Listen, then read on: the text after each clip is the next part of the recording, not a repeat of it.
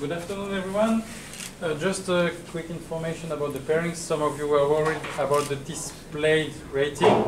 We updated the birthday of the players for the prizes tonight, and by mistake a wrong uh, elo rating was used.